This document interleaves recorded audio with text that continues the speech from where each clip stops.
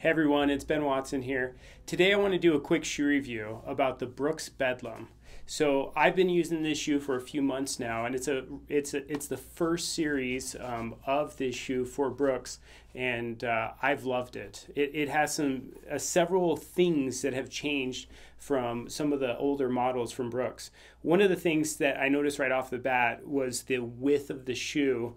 Um, my foot is pretty square in the forefoot and my toes kind of always rub on this outside. And with this one piece upper, it was either flexible enough or they changed the width enough to where it didn't bug me. And I felt fine with a medium width where usually I require a wider width. The next thing I noticed was the um, it they incorporated these guide rails inside the shoe, which is a firmer material, and so I noticed that the shoe is was more torsionally rigid than some of the previous shoes that I've had. Yet they've had um, this like silver stuff is quite soft and rebounds well.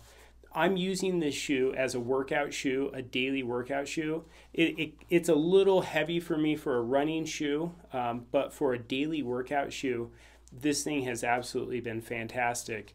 It the the side to side stability, which is one of my biggest complaints with um, shoes, th- this shoe has just excelled at giving me that side to side stability when working out, um, jumping, and I think just the the sole profile has been great. And they make it both in men's and ladies, and they probably have four different colors available in each one, and they still currently have good availability.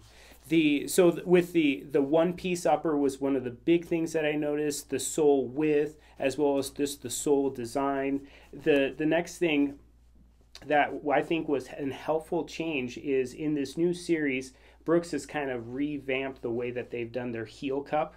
And I felt like it, it is actually, it fits me much better than some of the older models. So if you're looking for a good workout shoe, um, th- check this out. Try it on. It's the Brooks Bedlam. Thanks, everyone. Have a good day. And if you have any specific questions, just contact us.